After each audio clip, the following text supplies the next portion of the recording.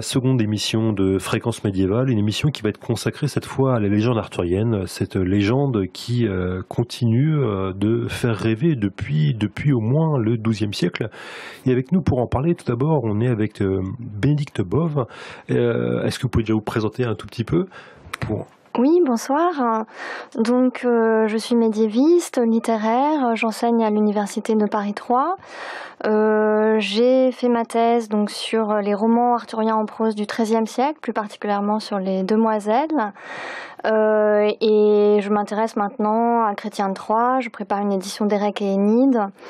voilà. D'accord. Et donc, en fait, la légende arthurienne, elle, elle commence réellement à partir de quand? Alors, la légende arthurienne, le, point de départ qu'on peut donner, c'est bon, le, pseudo-personnage euh, d'Arthur. Je dis pseudo parce que donc il y a tout un débat pour savoir s'il s'agit d'un personnage historique ou d'un personnage purement légendaire. Si cet Arthur a bien existé, il aurait existé donc au 5e, 6e siècle comme chef de guerre breton. Et à partir donc euh, de, cette figure hein, de roi, euh, s'est développé assez rapidement une légende, à la fois orale et écrite, euh, pour laquelle on a des traces donc écrites. Euh, les premiers textes remontent au IXe siècle à peu près. Et par contre, les, textes très connus, euh, par exemple, je pense évidemment à Chrétien de Troyes, c'est un peu le début de cette, euh, de la, c'est vraiment le XIIe siècle. Qui voilà, là c'est vraiment euh, la littérature, Arthur comme mythe littéraire hein, qui prend son envol à partir du XIIe siècle. donc avant Chrétien de Troyes, il y a deux textes importants qui sont les textes, donc d'abord un texte latin de Geoffroy de Monmouth, qui est l'Historia Regum Britanniae, donc l'histoire des rois de Bretagne, qui n'est pas entièrement consacré à Arthur, mais euh, qui, lui, donne quand même une large place. Ensuite, on a un autre texte de Watt, qui est une sorte de traduction euh, en ancien français, en vers, de, euh, de cet ouvrage de Geoffroy de Monmouth. Et ensuite, on a Chrétien Troyes. Et donc à partir de Chrétien de Troyes, la, figure d'Arthur vraiment connaît un, un, succès très très grand. Et après Chrétien Troyes, on a des réécritures en prose euh, française de la légende qui amplifie énormément euh, ce que Chrétien Troyes a écrit en créant des, des énormes romans qui, qui sont vraiment des, des, romans fleuves ou des romans feuilletons. Oui, parce qu'il y a les continuations du Graal, les choses comme ça. Voilà, les continuations du Graal et puis euh, tout le cycle arthurien proprement dit qu'on appelle le Lancelot Graal. qui s'écrit donc alors il y a des incertitudes sur les dates mais disons à partir des années 1220 1230 pour euh, poursuivre son élaboration pendant tout le XIIIe siècle. Euh, la Genèse est assez mystérieuse, c'est intéressant d'ailleurs, je, peux vous en parler éventuellement. Je vous en prie, on est là pour ça. Euh, donc en, fait, on, se demande si, si ces romans, donc cette, ces immenses romans, ont été écrits de façon chronologique, les uns à la suite des autres, ou bien s'il y a eu une rédaction un, peu plus finalement concomitante. pendant très longtemps, donc on a essayé d'établir un ordre dans les romans arthuriens, et puis là, on se rend compte en regardant notamment les images des manuscrits, que ces manuscrits sont anciens. Et euh, donc la chronologie qui était euh, établie jusqu'à maintenant doit être remis, remise en cause. Et donc on, pense que finalement ces écrivains déjà à l'époque travaillaient peut-être comme des scénaristes modernes, euh, peut-être en équipe, avec une répartition des tâches. Chacun écrivait un bout de la, de la légende. Donc c'est une manière un peu nouvelle d'envisager cette, cette genèse. D'accord.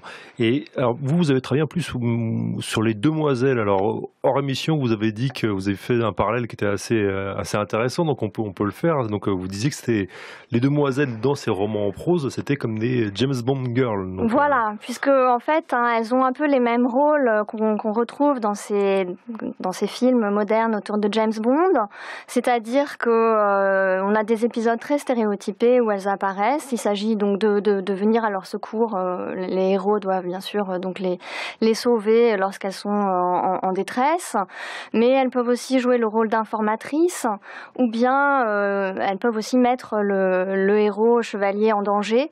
Et donc on a des, des, personnages un peu manichéens avec d'un côté des demoiselles extrêmement faibles qu'il va falloir secourir à tout prix, et puis de l'autre côté des femmes beaucoup plus fortes et qui, qui peuvent être vraiment dangereuses pour le héros. Alors, c'est intéressant. Euh, est-ce que, est que comme dans, comme dans les, les peplums, vous savez, euh, il y a toujours cette, euh, la dichotomie des peplums italiens entre la, la, blonde qui est gentille et la brune qui est méchante Est-ce qu'on retrouve ça dans les... Un peu, à part qu'elles sont toutes blondes en fait. Ah, hein. Il y a assez peu de brunes. C'est assez... Enfin, les critères de beauté médiévaux sont, sont, très finalement restreints. Donc, non, en fait, parfois, ce qui, est, ce qui est drôle, par exemple, chez, chez Chrétien III, ils cherchent quand même à, à renouveler euh, déjà le, personnage, puisqu'on a une demoiselle hideuse. Donc elle, il y a une description très amusante euh, où elle est décrite avec euh, des oreilles de, chauve-souris, un nez d'éléphant. Enfin, donc elle, sort complètement des canons de, beauté. mais c'est vrai que sinon, donc cette demoiselle est assez ambiguë. On ne sait pas trop hein, la demoiselle hideuse si elle est bonne ou méchante. mais pour, pour, les autres, en fait, il est parfois difficile hein, pour le chevalier de savoir au premier abord s'il a affaire à une demoiselle bienveillante ou maléfique. Et donc tout le charme est là, puisqu'il y a des demoiselles qui tentent des pièges. Euh, très rapidement, donc cette légende arthurienne, elle va continuer. Euh, on pense notamment à la, version de Mallory en, anglais cette fois, en moyen anglais, je pense. Hein, c'est le euh, 15e siècle qui est très connu dans les pays anglo-saxons. Voilà, c'est le 15e siècle. Euh, donc Mallory connaissait hein, les romans en prose français, donc le Tristan en prose, le Lancelot en prose, et il, reprend ces, ces, romans dans cette dans sa version qui a eu la chance en fait de bénéficier d'une édition imprimée assez vite, et ce qui lui a donné une, diffusion euh, extrêmement importante. Et c'est vrai qu'ensuite, euh, la légende arthurienne hein, se, diffuse euh, et va être redécouverte, notamment au XIXe siècle, à partir de, de ce domaine anglo-saxon. Finalement, l'Angleterre est un peu en avance sur la France dans la redécouverte de la légende. Oui, parce qu'en fait, il y a une baisse, une, un oubli progressif de la légende à partir du XVIe siècle en Angleterre, puis dans les pays, en France, par exemple, même au XIXe, au début du XXe siècle, on n'entend quasiment pas parler de légende arthurienne. Hein. Voilà, en fait, hein, au XVIe siècle, ce sont les, humanistes qui inventent hein, cette expression de Moyen Âge euh, et qui donnent cette vision euh, d'un Moyen Âge euh, obscurantiste. et donc, ils ont une attitude un petit peu ambiguë parce qu'à la fois, ils recommandent de créer des, œuvres, par exemple en français, donc ils vont quand même essayer de, valoriser ces, ces, œuvres du Moyen Âge, et en même temps, étant donné qu'ils veulent renouer avec la, avec la poétique antique, euh, ils vont complètement mépriser euh, les œuvres arthuriennes, mmh. notamment. Hein, le seul roman euh, médiéval qu'ils trouvent grâce à leurs yeux, c'est le roman de la Rose, qui n'est pas un roman arthurien. Mmh. voilà. D'accord. Et donc, par contre, 19e siècle, redécouverte d'Arthur par, par, notamment par Lord Tennyson à l'époque victorienne. Et par contre, en France, il n'y a quasiment rien. Mais sauf qu'en fait, eh ben, il va y avoir quelque chose. Mais pour qu'il y ait quelque chose réellement, alors faut attendre les années 60 avec les premiers films. Donc maintenant, on va donner la parole à Nicolas Truffinet. Mais surtout, il va y avoir cette euh, série Camelot dans les années 2000, donc c'est très récent, euh, série par Alexandre Astier. Donc Nicolas Truffinet, bonjour. Merci de répondre aux questions de fréquence médiévale. Alors vous, vous êtes doctorant à l'université de Paris c'est ça? Euh, Oui, oui, oui. Donc et vous, vous êtes en histoire contemporaine. En histoire contemporaine, voire même très contemporaine, économique. Donc, donc rien à voir avec le avec la légende arthurienne. Mais alors, par contre, euh, Alexandre Astier, quand lui, il crée cette série Camelot, euh, sur quoi est-ce qu'il se base un peu euh, Sur quoi il s'appuie en fait Il n'a il a, il a pas cette culture littéraire de, il connaît pas Mallory par exemple. Hein. Je pense que c'est quelqu'un que je pense qu'il se les a appropriés au fur et à mesure. Ça, je ne connais pas. J'ai pas fait un travail de recherche. à partir des témoins d'entretien, donc je ne connais pas plus sur la jeunesse de la série que beaucoup de fans. Moi, mon impression globale, c'est que c'est une série qui a un petit peu trouvé son sens au fur et à mesure et que euh, je, pense qu'un certain nombre d'auteurs, il a été à la fois d'auteur de la légende arthurienne sur cette période de l'histoire, le 5e siècle. Euh, je pense qu'il a été amené à les voir, lire selon les cas. Et que c'est et que ça se reflète, que ça, on, voit qu'il en tire quelque chose et qu'il le recrache entre guillemets. Je n'ai pas trouvé de meilleur terme euh, au fur et à mesure et de manière souvent extrêmement astucieuse. Alors oui, parce qu'il fait il fait quand même pas mal. Oui, c'est vrai que quand on regarde un petit peu, il fait pas mal de références à des auteurs classiques, mais aussi il fait pas mal de références aussi à de la, la, la culture qu'on pourrait même appeler la culture geek quelque part. Hein. donc euh, aux jeux de rôle, à des choses comme ça, aux jeux vidéo aussi. Donc euh, il mélange quand même pas mal de choses, j'ai l'impression. C'est présent et c'est. Mais effectivement, si on regarde l'évolution de la première à la sixième saison, je pense qu'il y a une petit il y a plus de culture geek dans les premières et plutôt plus d'auteurs classiques dans les dernières. avec, mmh. et c'est vrai qu'en et en plus ça, se, ça, se, noircit dans les dernières. Parce que c'est une série qui a une progression, euh, une progression assez étonnante parce que c'est une série qui commence comme un, mmh.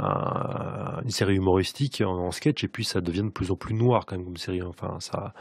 Je pense que c'est effectivement un des éléments les, vraiment les plus frappants de la série. Je n'ai jamais fait le test. Il faudrait montrer à quelqu'un la saison 1 puis la 5. Je ne sais pas ce que la personne euh, comprendre cette transition. On passe de tout petits épisodes, donc là, la shortcom, là, le format c'est format court, trois minutes, à des, épisodes très longs, beaucoup plus majestueux. Il y a un changement de tonalité, un changement de, de beaucoup de choses. Bon, là, après, bon, ça, se, ça se fait de manière effectivement très, très graduelle euh, au fur et à mesure. Et ça, je ne sais pas, effectivement, c'est une vraie question. Dans quelle mesure lui-même le dans quelle mesure la chaîne était consciente de ça Je pense pas du tout. Je mm. pense qu'ils n'imaginaient pas du tout que ça puisse se transformer de la sorte. Et lui, dans quelle mesure il en était conscient euh, c'est une question que je continue à me poser. Je, pense qu'il y a un petit, un petit peu des deux. Je pense qu'il a, il savait au départ vers quoi il voulait aller. Dans un certain sens, je pense qu'il qu'il a pu se le permettre parce que la série marchait. Euh, mais je pense qu'il a aussi découvert quelque chose au fur et à mesure et qu'il a pu, qu'il a pu le mettre en œuvre. Alors vous, vous avez écrit, vous venez d'écrire un livre qui s'appelle Camelot ou la quête du savoir, qui est paru chez Vendémiaire, un, un livre euh, extrêmement court et pas très cher, c'est très bien. Euh, c'est pour toutes les bourses. Et oui, et, euh, et pour une somme modique. Et donc, en l'occurrence, ce qui est intéressant, c'est que vous donnez deux, deux thèmes majeurs en fait à la, la série. La première, c'est il y en a d'autres aussi, mais vous, vous en parlez vraiment, vous vous concentrez sur deux thèmes. Un, c'est la, la, la, question de la naissance de la légende, et deux, c'est la question de la transmission du savoir, quelque chose de très présent euh, chez Astier. Est-ce qu'on peut parler de cette, euh, de cette dernière, notamment cette dernière partie? Oui, moi, c'est effectivement c'est ce, que je voulais souligner le plus. Euh, c'est effectivement une volonté de création d'un savoir, alors contre tendance à un savoir très fragmenté. Je pense qu'il y a vraiment une volonté chez lui de voir comment un pays se construit, s'administre. Enfin, il y a vraiment cette volonté-là de comprendre l'existence humaine dans toutes ses composantes intimes et, et, sociales. Enfin, c'est quelque chose de très présent et à beaucoup d'égards. Et puis, effectivement, après, il y a la question de la transmission. Et ça, je, bon, ça se voit beaucoup, de beaucoup, beaucoup de manières, mais la manière la plus évidente, c'est ce personnage de roi pédagogue, de roi éducateur, qui ne cesse effectivement d'enseigner euh, en permanence à, à, tout le monde, donc à sa, femme, à ses sujets. Et qui tombe sur des gens pas très doués en fait, donc euh, ça c'est un peu. Et qui tombe sur des gens pas très doués, donc ça effectivement, il peut y avoir une lecture beaucoup plus négative de la série. C'est un des retours que j'ai assez souvent. On me dit, il effectivement, il apprend beaucoup, mais avec quel résultat à regarder euh, Perceval, les autres apprennent peu.